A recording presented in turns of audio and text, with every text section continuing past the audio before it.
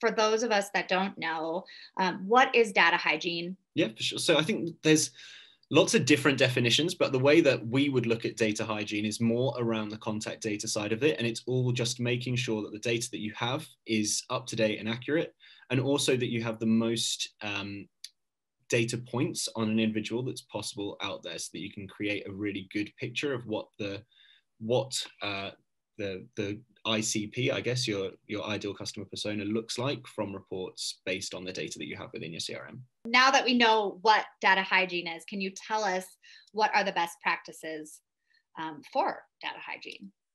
Yeah, so I think there's several. Um, the main thing comes around making sure that all of the data that you have and all of the activity that you complete on uh, on an individual, whether it's through the sales cycle or through the um, through the, the marketing uh, outreach is actually logged in your CRM.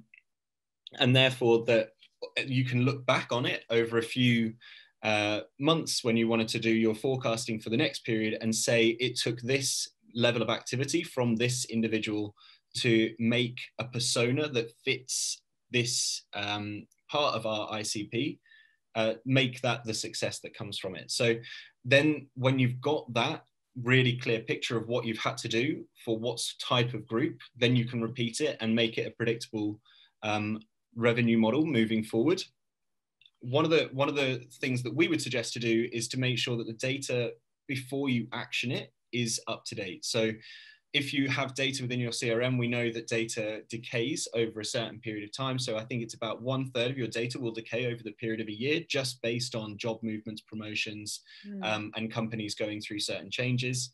Um, so if you need to essentially identify what type of data you're going to be utilizing for a given period, we'd say either monthly or quarterly, um, and then make sure that all of that data is completely uh, refreshed and clean before you go on to action it. And that will just make sure that your bounce rates stay low, that um, the sales reps are actually speaking to people that they know that are in the company. If you were to do this at the beginning of the year or the beginning of half a year and update all of the data, by the time you actually get round to actioning it, the data is going to have started to, to become less accurate again.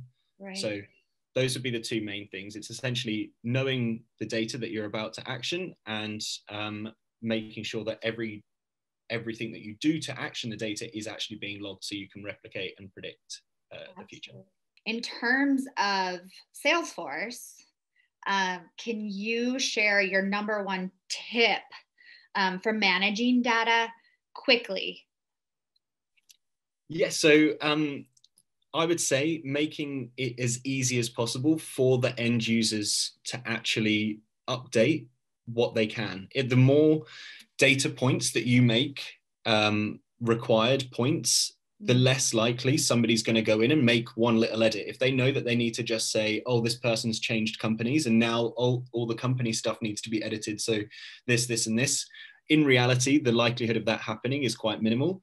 So you should see your users as the the first step in the door of data maintenance, I guess and make it as simple as possible for them to do that job for you because they're the ones that are out there seeing what's happening on LinkedIn, seeing people who are moving roles and making sure that they can then change that knowledge into actionable um, insights, I guess, into your own CRM. Tell us about Cognism and how the tool, this tool that y'all cre- created, has kept Salesforce data clean.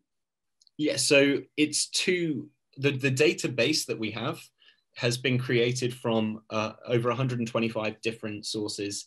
They're open web sources as well as private data providers that we've partnered with, like Crunchbase and S&P Global. So that's the data where it came from initially. And then we have an AI engine that sits behind uh, the data asset that basically scans all of the sources and makes sure that the data is as accurate as possible so that we know that we're providing the data. I think the, the longest any data, uh, the oldest any data can be in our engine is 90 days old. So we know at the point of sale that people are only putting in data that's either up to date or up to three months old. Um, we then built an app where people within Salesforce can, first of all, search for new data. If they wanted to plug it into their marketing campaigns or plug it into um, their sales cadences or any sort of way that they go about actioning data, they can essentially go into their own Salesforce and say, I want to find the heads of sales in certain companies in certain industries in specific locations we can filter down by really quite um, refined uh, filters, including like the technologies that companies actually use. Um, and also because the data is up to date and it's all live, we can pick up on actual real events that are happening. So when companies have received funding, uh, if they're hiring, or if um, somebody's just joined the role, Mm. You can pick up on those triggers, and they help to uh, people identify when is kind of the best time to reach out to a certain company. For example, during the pandemic, a lot of our clients used the hiring data because when they found out if they were selling a finance tool, for example, and they found out that the finance team was hiring, then they can kind of understand that that finance team is growing despite the pandemic, and therefore it can be a good opportunity for you to reach out to them.